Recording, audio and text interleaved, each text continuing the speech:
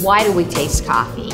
Different coffees from different places in the world have different flavor nuances. So we're really looking to capture and benchmark those flavors and really looking at coffee quality.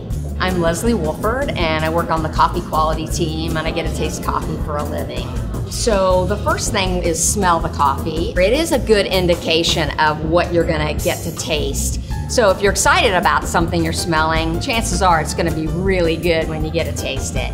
Step number two is slurping. You can't evaluate what you're tasting until you slurp. And so when you slurp, I'm going to be pulling air into my mouth. And the idea with that is it's gonna coat the whole inside of my mouth and really help me create an impression of the coffee. So I'm just gonna drip my spoon in there.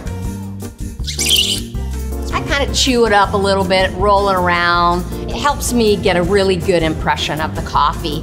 And then we're going to actually use words to describe what we're tasting. I get a little bit of a chocolate flavor, fresh green herbs, earthy, syrupy, flavors of citrus, floral notes, and it has a very nice, pleasing sweetness to it. The idea is to explore all of the great flavors that there are out there in coffee. Enjoy it, taste it, share it, because coffee is fun.